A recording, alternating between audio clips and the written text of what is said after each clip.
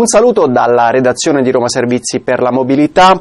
Venerdì è previsto uno sciopero del trasporto pubblico indetto dal sindacato Faisa Confile.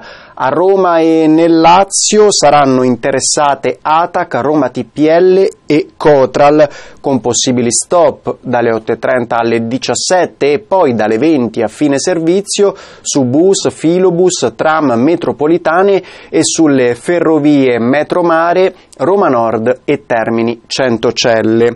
Possibili ripercussioni anche sul servizio dei bus notturni, tutti i dettagli e gli aggiornamenti sullo sciopero di venerdì sono su romamobilita.it.